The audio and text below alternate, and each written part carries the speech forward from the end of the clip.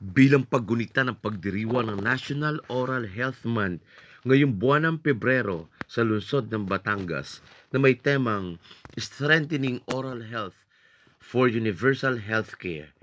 Nakatakdang bumisita ang mga kawani ng Dental Division ng City Health Office o CHO sa iba't ibang paaralan sa lungsod na may Learners with Disability o LWD upang mamigay ng oral healthcare package gaya ng toothbrush at toothpaste, at dental check-up na rin ngayong buwan ng Pebrero.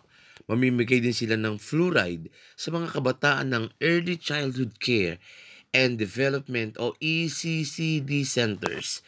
May hygiene items naman ang ipamimigay sa mga persons deprived of liberty o PDL sa San Jose Sico Jail at sa mga badyaw na residente ng barangay Malitam para naman sa mga residente sa poblasyon na may problema sa ngipin at nangangailangan ng tooth extraction, ito ay sinasagawa sa dental bus na nakahimpil sa Batangas City Sports Coliseum parking area.